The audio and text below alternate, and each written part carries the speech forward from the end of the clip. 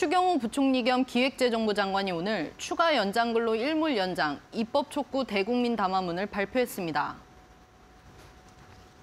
추 부총리는 종사자 30인 미만 사업장의 8시간 추가 연장 근로제 일몰 연장 법안과 관련해 여야가 협치, 상생의 정신으로 조속하게 상임위원회 논의를 거쳐 연내 국회에서 통과시켜 주시기를 간곡하게 호소드린다고 말했습니다.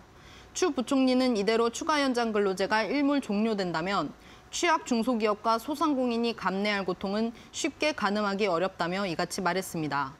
또 특히 심각한 인력난을 겪는 뿌리산업과 조선산업을 비롯해 집중 근로가 불가피한 정보기술 분야에서 심각한 피해가 우려된다고 덧붙였습니다.